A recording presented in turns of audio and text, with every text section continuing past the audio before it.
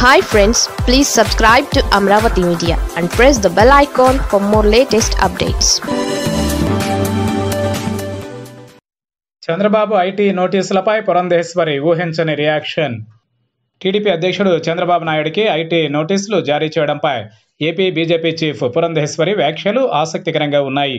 నోటీసులపై Pawan Kalyan Purandeswari CPI Ramakrishna Narayana ఎవరూ స్పందించలేదు. వీరంతా చంద్రబాబు కేంద్రంగా రింగ్ అయ్యారు అందుకే రియాక్ట్ అవడం లేదని వైసీపీ ఆరోపిస్తూ వస్తోంది. పురంధేశ్వరి వ్యాఖ్యలు ఇప్పుడు వైసీపీ వాదనకు మరింత ఊతమిచ్చేలా ఉన్నాయి.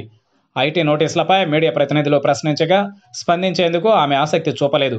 ఐటీ నోటీసుల జారీ అన్నది ఒక సాధారణ ప్రక్రియ అంటూ తేలికగా తీసేశారు. అటువంటి వాటిపై తాను స్పందించబోనన్నారు.